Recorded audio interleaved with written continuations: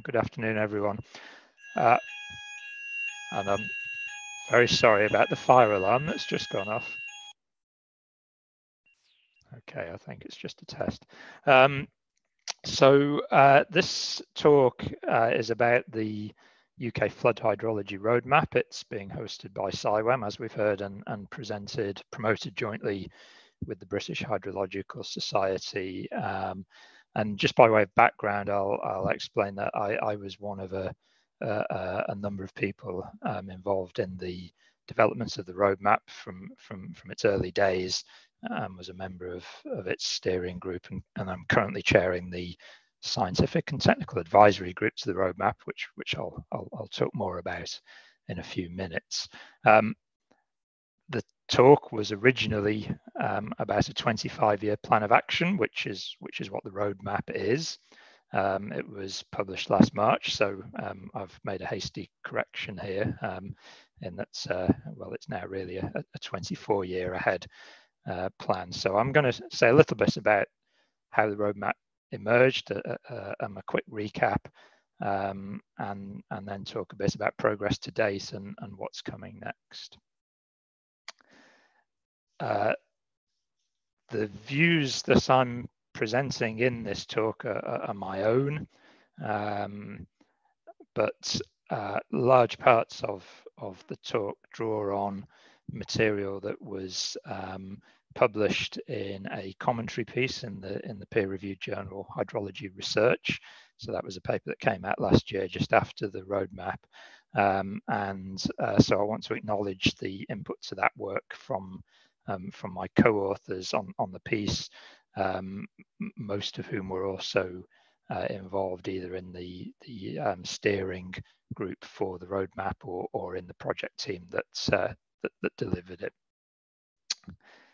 Hopefully, um, I think the links to the roadmap itself and, and some of that supporting documentation will be appearing in, in the chat window on this Zoom call. So the roadmap was uh, initiated in 2018 through the DEFRA Environment Agency NRW Joint R&D program for flood and coastal risk management, and as I say, published in, in March last year.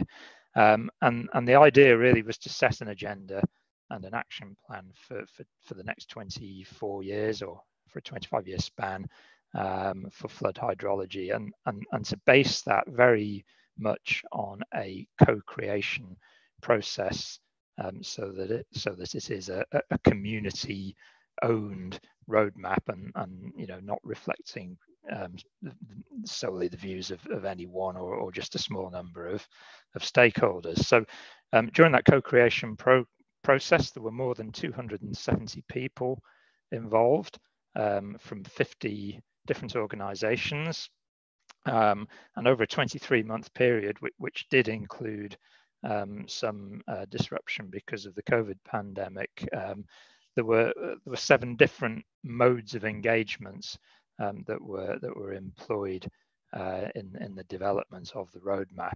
Um, in our hydrology research paper, we set out a a, um, a flowchart that detailed that that process. I'm, I'm not going to attempt to talk through through that in, in detail now. But but the key point I suppose to take away from this is that it was, you know, it, it was a, a serious effort, um, quite an involved process um, with uh, different opportunities for um, as wide a range of people as possible to get involved, have their say, and influence the roadmap. Um, and and I, I, mentioned seven different points of engagement. Those those really broke down into four types. So there were some questionnaire surveys. Um, there was a, a, a, some workshop activities. Um, there was a very uh, open um, public-facing online survey, uh, and also some working groups that that contributed to to the to the developments of, of the of the roadmap. Um, and hopefully you can see on the right hand side of the slide here, um, there's some analysis showing the breakdown of different sort of stakeholder representation throughout that process. Um, so um, strong input throughout and across all the modes of engagement from, uh, from UK-wide public sector organisations, um, also from private industry uh, and um, from academic uh, researchers. Uh, and, and then also there, were, there, were, there was um, in, input from, from other other stakeholders um, you know that, that, that might fall into to different categories. So that the co-creation pro process led to um, the uh, the published roadmap, um, which uh, and, and, developed a vision, which you can see on the on the slide here for, for UK flood hydrology over the coming 25 years. Um, and that, that vision recognizes a, a you know a, quite a range of fundamental issues, in, including environmental change, uncertainty as a as a fundamental aspect of of hydrology and, and flood management. Um, and you know, in, in, a sense, the very concept of risk management is is is is a, a kind of rational um, way of of dealing with uncertainty. Um, the vision recognised um, discussion of of the role of data science, of the integration of different hydrological processes and also physical systems that are related to, to flood hydrology, um, including things like geomorphology, water quality, and, also socio and, and, and economic systems. And, very importantly, the vision recognized the importance of, of leadership uh, and collaboration. Um, the, uh, the vision um, in turn supported the, the, the, the, developments of four, uh, four themes, uh, which were data, ways of working, uh, methods, and, and, scientific understanding. Um, and uh, across those four themes, um, there were 31 uh, actions um, that, uh, that are set out in, in some detail within the roadmap documents um, and, uh, and and also the you know the process that, that that led to them being identified. I'm just going to skip back briefly as well because I, I when I talk about this, I, I, always try to emphasize the you know the real we um, wealth and uh, and depth of intelligence that that was uh, um, gathered and, and, is contained within the, the roadmap co-creation process, um, and, and in particular, um, the data that, that, that is presented within the appendices and, and the, the, the questionnaire and survey responses and, and, that's and that was published alongside the roadmap. So in those in those supporting documents there, there's there's a huge amount of useful information, and I, I, I really um, sort of implore people to, um, to to look at that. Of course, the roadmap didn't emerge in a vacuum. Um, it, it has a UK focus, um, and it was, I, I, suppose, you know, its genesis was within the um, the practitioner or, or, or, practice practice research um, uh, innovation space. Um, but but it but it it it it, it, it developed you know in a way that was informed by a much wider context, um, in, including work that was done um, at, at around the same time uh, by a working group on the future of UK hydrology um, uh, that was uh, sponsored by the British Hydrological Society, and that, that working group has published a number of, of journal papers. Um, the development of the roadmap occurred alongside the um, the scoping for a number of scientific programs, and and and perhaps the largest of which is the um, the UK Research and Innovation Flood and Droughts research infrastructure program. Um, and, and that, of course, is a, is a long-term on, on, ongoing program. And uh, the roadmap also, um, of course, exists within an international context. Um, and we did some work to uh, look at how it maps onto the International Association of Hydrological Sciences um, work on, on uh, 23 unsolved problems in hydrology, the 23 UPH paper that was um, that was published um, a little bit before the, the roadmap. Um, so the, the the circular diagram here shows um, in, in the upper left segment um, the topics that were identified through that IAHS um, community work on, on the 23 unsolved problems. Uh, that was a very wide-ranging um, uh, international um, scientific scoping project.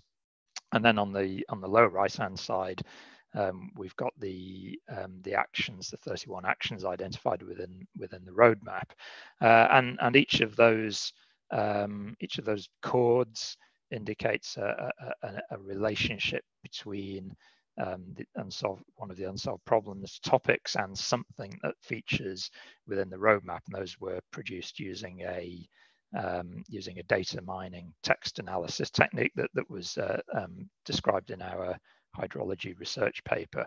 Um, so the point really that, that this is is making is that there's you know there's pretty good um, cross correlation, if you like, in, interrelation between um, between the international scientific uh, agenda and, and the topics within the roadmap, with perhaps um, a, a, few uh, uh, areas where there are gaps, um, particularly around the interfaces between hydrology and water quality, um, health, and the social sciences. And you know, to some extent, those may also reflect the, the difference in in framing of these two studies, and, and that the, um, the, the the 23 UPH are taking a very broad view of of um, of hydrology as a whole, whereas of course the the roadmap was was focused on flood hydrology. Um, so that that's the background really. Um, I want to just turn now to looking at the uh, at the progress that's been made since the roadmap was published last year. Um, there's been a lot of work going on, um, some of which has been visible, and, and some of which is is, is you know perhaps, perhaps been um, been going on in the background. Um, but just to to try to simplify what's been done and to boil it down, I I, I want to point out you know two really important mechanisms for the delivery of the roadmap in the long term that, that have, um, you know, that are now established.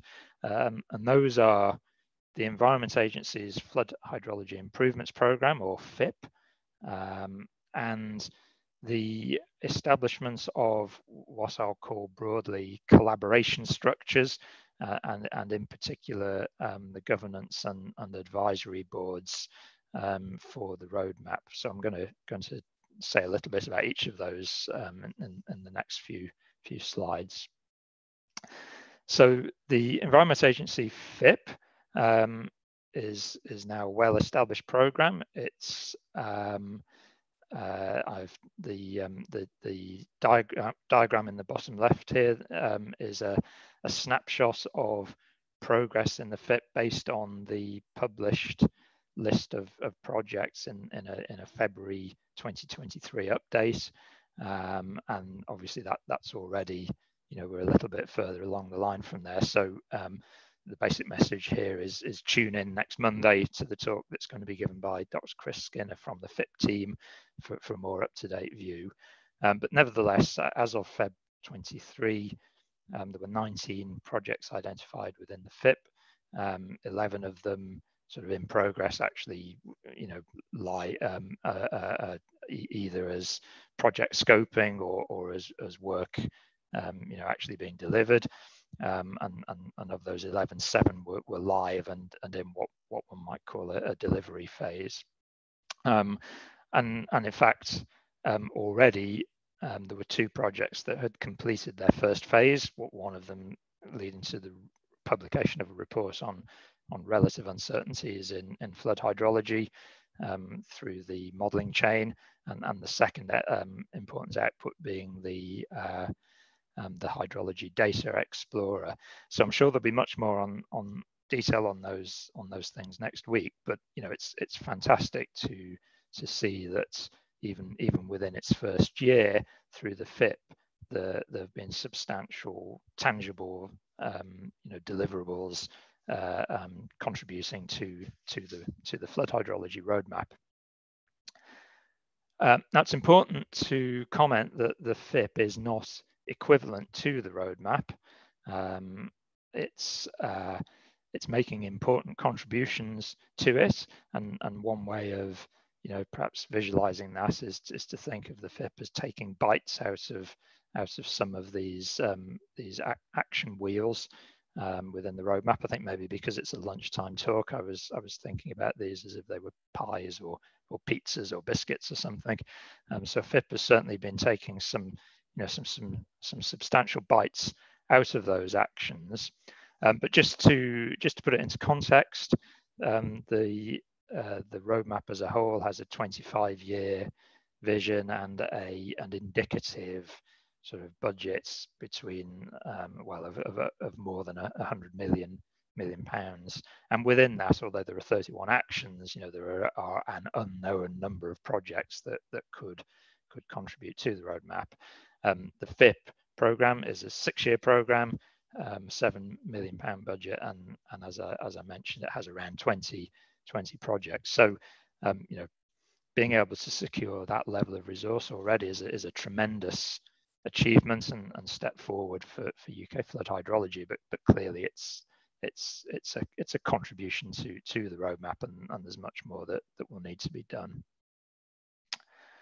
Um, and specifically, um, the FIP uh, sets out to address and, and is driven by three of the of the four roadmap themes. So those are the ways of working, data, and methods themes. Um, and of course, that leaves us with um, the fourth theme about scientific understanding, which is perhaps the hardest of the themes to, to define and, and, and, and, the you know and the, and the most difficult to to plan for. Um, I just want to you know be clear here that um, I don't think the FIP is in, in, in any way unscientific. So I'm not not trying to imply imply that it's leaving the science behind. Um, I know that much of the work going on within FIP has has strong links to scientific progress, but but it's you know by by its own um, uh, definition, it's not being driven specifically by the scientific understanding theme within the roadmap. So we need to find other ways to, to advance in, in, that, in that fourth theme. Um, and hopefully some of those advances will come through the um, through the governance and collaboration structures that, that have now been established. So um, addressing the ways of working, that there is now a governance board in place for the for the roadmap. Um, and uh, there's information about that um, on the British Hydrological Society and the FIP web pages, and I hopefully those will have appeared or, or will appear soon um, as links within the within the chat window. Um, and also, we now have established a scientific and technical advisory group to work alongside that governance board, and, and those two groups have come together with with support and, and secretariat function being provided by um, the uh, the key partners across the UK um, and also with um, with volunteer uh, input um, from from a number of different sectors. So just looking at the governance board, the representation there is Department for Infrastructure, Northern Ireland, NRW, SEPA, the Environment Agency, UK Research and Innovation, um, which for, for anyone on the call who's, who's not familiar with the research funding landscape is the main funder for, for academic research and, and innovation sort of transfer um, in, in the UK and the British Hydrological Society. Um, and, you know, in terms of, of progress to date, there's a memorandum of, of, understanding now been signed between those regulatory authorities and, and the BHS to really to underline and enable the continuing support and, and commitments um, to the roadmap from across the UK. Uh, you know, one of the key roles of the governance board, uh, as well as, as taking a strategic view of the roadmap and, and monitoring progress against it, is to to seek the funding and resources to ensure that it, it you know it, it can continue to to be delivered, um, and that's already happening. Um, and and uh, you know and resources are being identified um, through the work of the governance board, which, which is which is fantastic. Uh, alongside the governance board, we now have a scientific and technical advisory group established. So that was advertised through an open process in uh, last year uh, and established with its first meeting in January this year. It has 15 members. They um, they come from a range of different backgrounds. You can see a, a, a breakdown on the in the um, the donut diagram uh, on on the right hand side. Um, although I should say that you know some members of that group sort of sit in in a number of different roles. Um, so so there's there's there's there's fairly good representation there um, across different interest groups.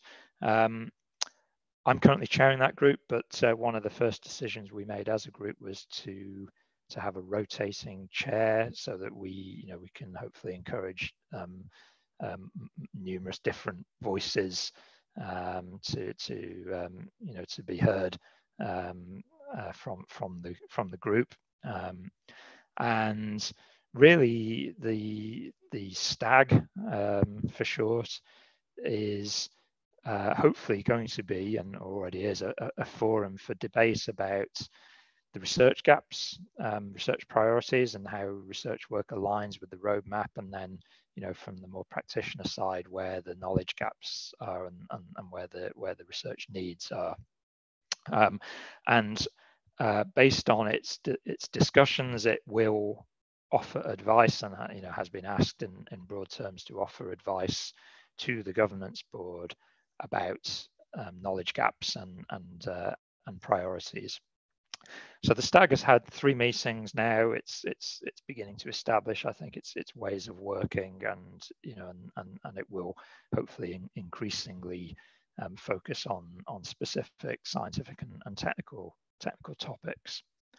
Um, and I, I think that's really important because the, those two boards and, and perhaps the stag especially will help us as a community in navigating the, the pathways to impact between research and practice. And that, you know, I, I think for, for anyone who's involved in the sort of innovation process will, will appreciate that it's rarely a, a straightforward linear linear process. So it, so it really is a case of navigating, you know, um, different knowledge and understanding about where scientific progress is being made, where the practitioner needs are, and how those two things should should align. Um, so the, the the roadmap as a whole, you know, sets out uh, in in in broad terms um, those pathways to impact, and uh, as I said earlier, it, it does contain some really deep dives into into the needs and, and drivers for for progress and, and the evidence behind behind those um, which uh, you know I really re recommend to anyone as a as a sort of a guide to understanding the um, the, the impact and impact potential of, of research. And, and just to highlight this in Appendix H the, of the roadmap, there is a detailed analysis of how different parts of the roadmap agenda will map onto flood risk management outcomes. So, you know, that, that to my mind is almost literally mapping out pathways pathways to impact um, between uh, practice and, and research. So I hope that the Science and Technical Advisory Group, you know, is becoming a forum for for debate uh, uh, and understanding of of those, um, you know, of that process uh, and, and, and where those knowledge gaps are. Um, just to give you a sense of of some of the things that are that are now being identified by the stag um, for, for future discussion. So those include looking at the outputs of the FIP programs projects as they report or complete and, and uh, you know and trying to understand their wider context within the roadmap what, what their implications would be for the longer term and, and where there are, are remaining gaps. Um, to discuss the skills survey that has been carried out um, through the FIP um, to understand the relationship between quality standards and um, the benchmarking of models and methods in, in, flood hydrology. And, you know, those are two areas where there will be work, um, substantial work um, be, being initiated in, in, the near future. Um, sort of related to that as a technical topic, we think there's a need to to, to understand more about how sensitivity analysis in, in general can be applied in flood hydrology, and, and that includes um, understanding its relationships with the topic of uncertainty, um, and also you know differentiating it and understanding how it how it compares with the use of sensitivity analysis in, in other areas, in, including hydraulic modeling. Um, and we think there's probably a need to to look at um, artificial intelligence and its relationship with with flood hydrology. And of course, the, there will be other topics that should be discussed. And the yellow highlight there is just to remind me to come back to this in my my final slide. Um, I think that AI is a good example of, of why um, the groups such as the STAG and the Governance Board are important in, in enabling the, the roadmap to, to evolve and to continue to be relevant. Um, perhaps so this is a this is a, a little test that I ran um, earlier today with the um, Microsoft Bing version of ChatGPT and the DALL-E um, generative AI system. Um, and you know, it suggests maybe rumors of the demise of human expertise are, are possibly exaggerated. Um, we, we, might get to the point of um, you know being able to get the spelling right at, at, at some point, hopefully. Um, but but having said that, um, of course, you know many people have already been working in, in broadly in the areas of, of AI and, and data science um, in hydrology and flood management, and these are clearly powerful and important technologies. So, so here's another test from this moment from this morning. Um, I, I, haven't actually taken this code and run it myself to check that it works, but um, uh, you know, a quick look at the relevant Python libraries suggests that it's probably about right um, to uh, to run an analysis of, of, of trend detection in river flows. Um, and so, in, in addition to the you know to the to the work on um, data in, in, data science on, on machine learning and, and other aspects of AI that, that's been going on for some time. Um, the very rapid progress that's been made recently in, with large language models and generative AI, you know, is perhaps really accelerating the need to, to, to understand its role in, in, in flood hydrology. So, so what's coming next? Well, um, over this summer, there is work underway to develop a, um, a detailed communications and engagement plan for, for the roadmap.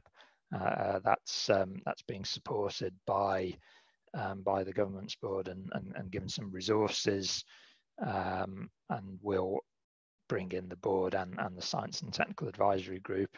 Um, and you know, I, I, I hope that what one of the things that we can do through that comms and engagement plan is to um, is to continue working on how we understand wh where there is relevant research and where there are knowledge gaps that will sort of drive um, future planning for the roadmap and, and, and you know, and particularly how we link into that, that theme of scientific understanding.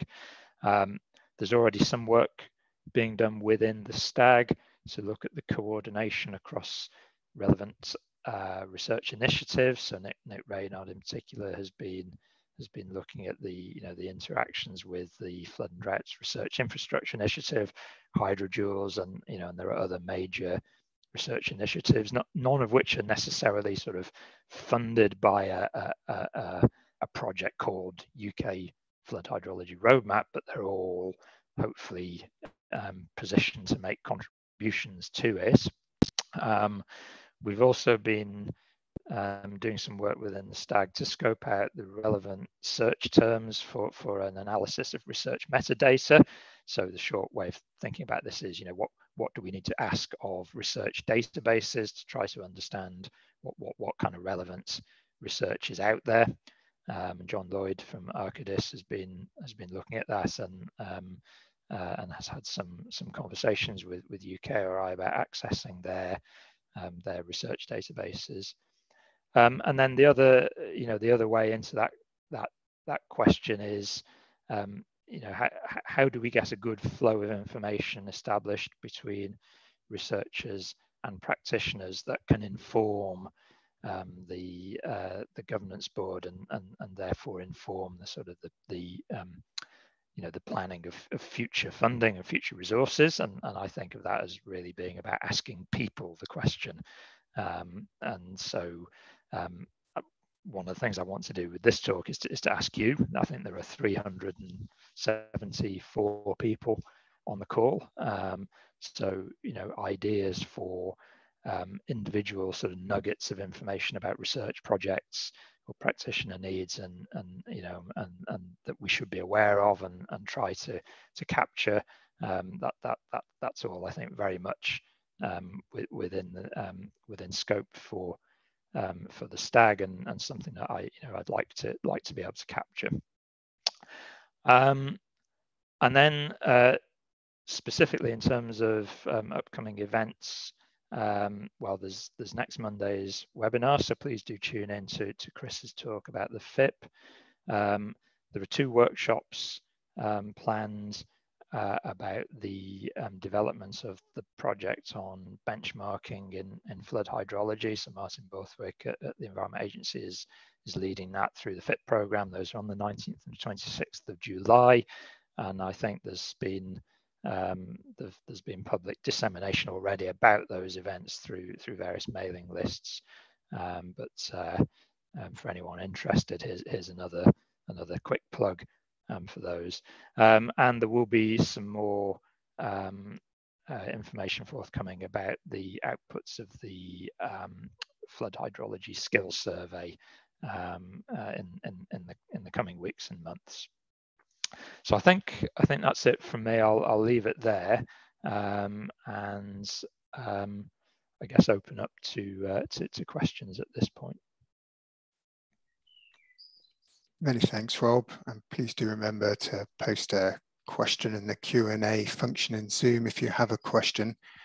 There is one there already, Rob, and I think it relates to the Python code that you presented on one of your slides. It's quite a techie question, asking if the flow value denotes flow rate. Might be one we need to take offline, but if you're... Well, well, well, possibly. I mean, I'm taking this as being um, this is the coding question, isn't it? I'm I'm I'm taking this as being a. Um, I, I mean, you could you could substitute any time series, I guess, for for flow here. Um, so so the point of this is not that I would. Uh, um, recommend uncritically lifting this code out and, and, running it. And as I say, I haven't checked it myself, um, but more that you know through generative AI, we're, we're already in a position where where we're able to um, you know to ask a question in natural language about something that is very technical, and, and get a get an answer back that um, I suspect in this case it isn't far from the, the code that you would you would actually need to to, to implement um, implement that analysis. That's really interesting how AI will feature into this and maybe a, a whole separate topic. Uh, I had one question about the sort of research the STAG would be most interested in. Yes, um, thanks. So um, within the, the STAG, you know, we haven't really um, tried to place constraints on, on, on what, you know, what, what we think could be relevant research to to to you know to, to take account of and um, in, in this process of, of, of understanding um, where the priorities should should be for, for the governance board to, to look at. Um, uh, I think a good starting point for that would perhaps be the, the the papers and reports that were generated by the BHS working group. Um, so those are, are, linked from the BHS website. Um, there was a paper on um, observational methods um, and another one on the development of a community sort of view of a perceptual model of UK hydrology um, that, that came out in, hydrological processes. So I think those, those two papers certainly give a good sort of sense of a um, certainly a, a science driven, scientifically oriented view of, of, of future um, future research needs in, in hydrology. Uh, but but really, you know, I I, I mean, I, part of the challenge here is that actually it's it's very difficult just to go to a database and you know type in a search for hydrology research and and and understand that you you're going to cover everything that might be of interest in in, in flood management. Um, so um, so that's why the, the process of sort of querying research databases is difficult and, and also why I think you know we really do need to be asking people to, to come forward and, and, and bring their their suggestions um, to, to the, the various groups that now exist. Fantastic, thank you. Uh, there's another question in the QA. Is any research considering techniques used in catastrophic modeling? Yes, I I um uh, I can't remember now whether catastrophe modeling or cat modeling was specifically mentioned in the roadmap, but you know my sense of it is that um, so for, for, for, perhaps for you know for, for anyone on the call who's not familiar with the terminology here, I, um, the the concepts of cat modeling is something that's um, I would I would say developed largely um, through work done to understand risk for insurers and you know then more broadly um, the financial services and, and, disaster risk financing sectors um, and and those models tend to um, tend to be quite um, broad in terms of addressing multiple scales and, and possibly also multiple hazards um, and, and at looking at um, specifically at, at, at, extreme loss events. So, you know, so a, a, a, typical kind of analysis might be to ask what would be the one in 250 year um, financial loss during a, a, flood event, or maybe a compound flood or windstorm event, something of that nature. Um, so, I mean, to my mind, you know, there's been lots of interesting innovation um, within the cat modeling world, there's been lots of um, valuable scientific research that has been um, driven by, perhaps even funded by, and, and um, uh, related to the needs of, uh, for cat modeling. And, and you know, I, I think certainly it, it, it, should be relevant to the um, to the flood hydrology roadmap. Great, thanks for that. A few more questions coming in now. Can you tell me if there is a recommendation to capture flow data on small catchments, many having been previously decommissioned over the years? Honestly, I, I can't remember the road the roadmaps and, and its supporting documents are, are hundreds of pages long. Um, um, small catchments are certainly, you know, um, mentioned as a as a, as a particular um, particular concern within it. Um, and, and obviously, you know, we, we, I, I, would I would think probably anyone working in flood hydrology would would would realize would realize that. So, um, as for recommendations in terms of of monitoring, I, the, the roadmap itself doesn't um, you know doesn't set out a a specific recommendation or a detailed business case for monitoring, you know, in terms of, let's say, numbers of gauges or where they should be or whatever. Um, but it does broadly within the data theme and, and perhaps also in, in the scientific understanding themes, there are, you know, there are clear drivers for um, looking at improving the, um, the, the information that we have across all areas of, of flood hydrology. Uh, and, and within the FIP, there's already work going on um, in terms of uh, looking at data uncertainties and, and data requirements. So I think, you know, I, I think that type of question about, about data uh, and monitoring is, is going to, going to be and should be a, a recurring topic, you know, over the whole lifespan of, of the roadmap.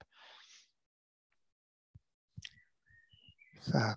We've got another one here. A potential gap for future STAG focus might be the interfaces, dependencies on and sensitivities to other components of the environmental and human systems and opportunities or requirement to benefit from improvements in their prediction, e.g. weather, climate, coastal zone. This usually feeds into thinking about compound hazards. And thanks for the update. Uh, this is from Hugh Lawrence at the Met Office.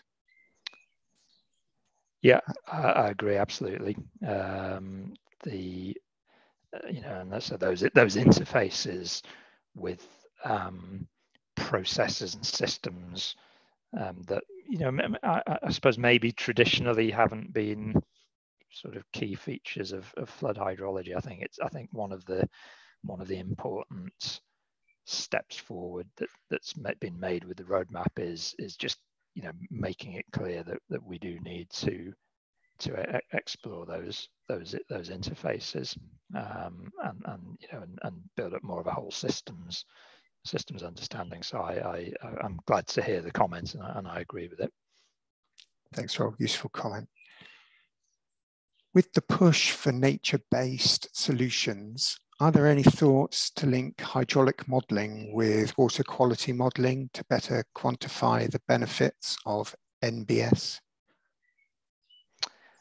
So again, it's a, it's another question, I suppose, perhaps about those interfaces, and I and I commented um, earlier in the analysis that, that you know that looked at the relationship between crossover of the roadmap and the IAHS 23 unsolved problems that I think possibly on water quality, and I'm you know using that uh, very loosely um, to, to indicate you know what what what's in the water and what the water does to the environment. Um, uh, we you know perhaps although it's mentioned in the roadmap, it, there's there's not a great deal of detail I think in there, and I you know I think that's an area that we need to be picking up in, in terms of building more scientific understanding and then seeing how that that can be brought into into practical use. So um, I mean, I, I'm, I'm taking that as a useful sort of suggestion for for something that um, goes on the on the broader um, you know agenda for for for, for the science group um, as, as much as a question. Great, thank you. Useful comment there. And does this roadmap go hand in hand with any set standards, or would this roadmap eventually become a standard we work by? Yeah, so so quality standards is one of the action areas, one of the actions within the roadmap, and, and as I mentioned earlier, I think there's probably um, a, a, connection between the idea of quality standards and and the the sort of, um, if you like the technical topic of, of benchmarking um, uh, models and, and methods. So um, the roadmap itself is not you know is is not envisaged i think it would be fair to say as a as a quality standard. It's a you know it's a it's a research and innovation sort of scoping and and and um, uh, and planning exercise. But um, within that community engagement process that created it the ideas of establishing quality standards establishing benchmarks, uh, you know, and trying to do so in a way that is scientifically robust and that um, helps us to deliver good work without constraining innovation. Th those those issues all all came through and are and are you know are represented in the roadmap. Great, thank you very much. So just on that on that one, I think again a plug for Chris's talk next Monday. I don't know if he'll mention those projects specifically, but but there is also work already underway through through FIP um, on on those on those topics. Great, thank you, Rob. And there's no more questions in the Q and A box, so just leaves it for me to say thank you very much, Rob, for your presentation today, and thank for you. everyone else who's able to join the call. Barbara has posted all the links in the chat, along with some others linking to CIWEM and CIWEM's objectives. So do take a look at those and try and join the call on Monday if you can. Thank you, everyone. Thanks, Rob. Thank you.